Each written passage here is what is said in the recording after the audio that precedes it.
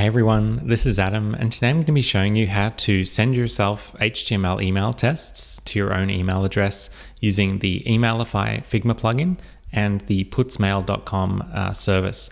So to get started, all we need to do is go to your Figma file, and if you click on the little resources icon up here and search for Emailify, so that's E M A I L I F Y, and if you go to the plugins tab and click on the Emailify item, you can run the plugin by clicking on this run button here, or I'd recommend clicking on this little more options icon here and clicking save. And that's just going to make it really easy to run the plugin from your saved plugins list later. So I've already done that. So I'm going to go to my Figma canvas and right click anywhere. Just go down to plugins and then go down to saved plugins. And if you click on the Emailify item, that's just going to run the plugin we saved a second ago. So if you're new to the plugin, the way that it works is it basically helps you to design HTML emails in Figma, which you can then customize and change the content and styles of before exporting it to production ready HTML automatically. So I'm not going to be going through all of the design features today. I'm going to be assuming that you've already got yourself familiar with those and you've got the email design the way that you want.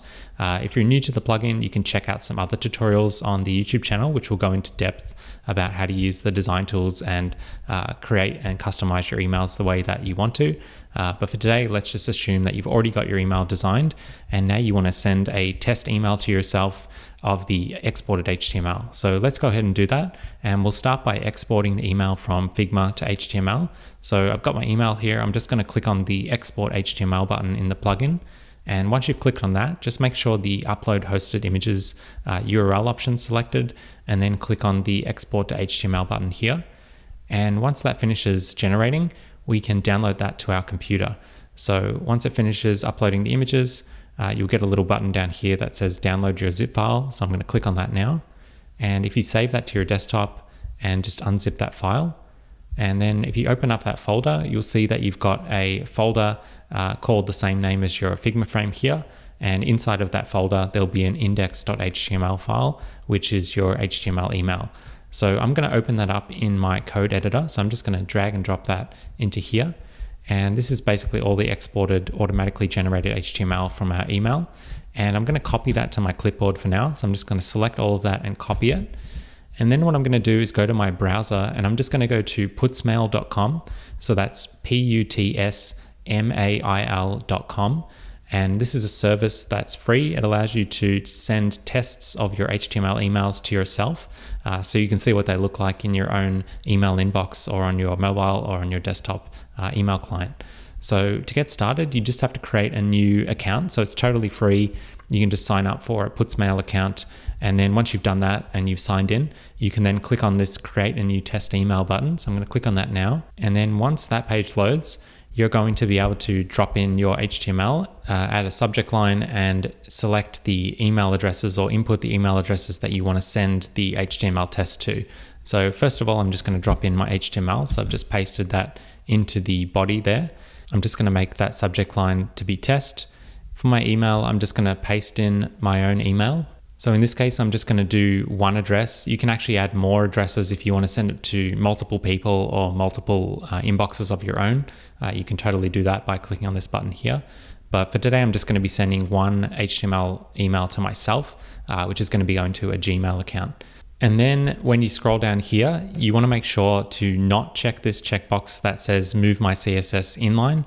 Uh, Emailify automatically inlines all of the content. And what that means is that uh, you can see down here that the uh, table cells and the HTML elements themselves already have inline styles applied to them.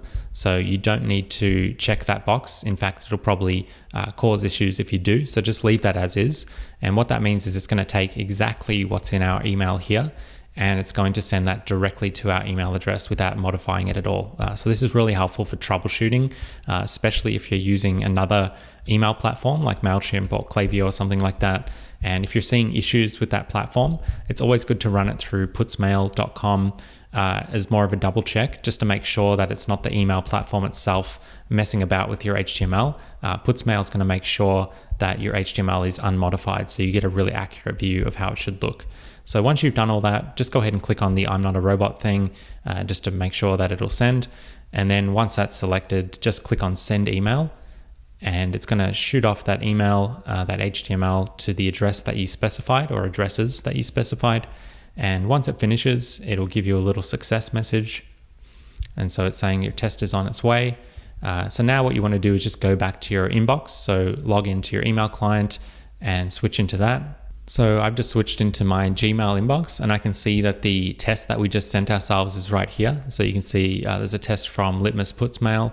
So if I click on that result, so we can see here that it's basically loaded up the HTML as we'd expect. So this is all of the real HTML uh, that we exported from Figma and we're able to test this directly uh, in our Gmail uh, inbox using the Gmail web app. You could obviously test this in the Gmail mobile app as well if you're using that. Uh, or if you're sending this to a totally different email service, you would obviously log into that uh, platform, uh, or if it's the Outlook client or something like that and you could see exactly what this looks like. You can click on any of the buttons, make sure everything's working as you'd expect. Uh, and that's going to be a really nice way of just testing the email to make sure that it's looking good uh, on your own client before you start testing it around uh, other clients as well, maybe using the litmus.com uh, platform to do some more robust testing.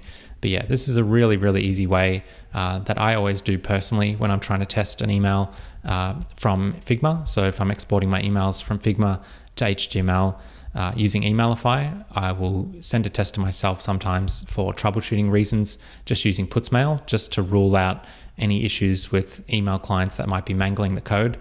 So just using that as a really reliable way of sending unmodified HTML, uh, I think is a really good practice to get into uh, if you are troubleshooting some weird issues with email platforms, just to rule out that the email platform isn't the cause of the problem to begin with. Uh, this is a really good way of validating that.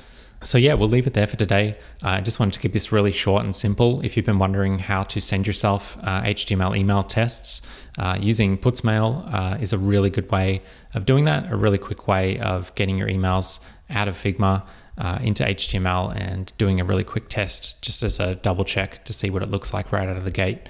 Uh, hopefully, that's going to be helpful for your own workflows and also if you're troubleshooting, as I mentioned before. So, yeah, we'll leave it there for today. Thank you as always for watching and we'll be back with more Figma tutorials like this one very soon.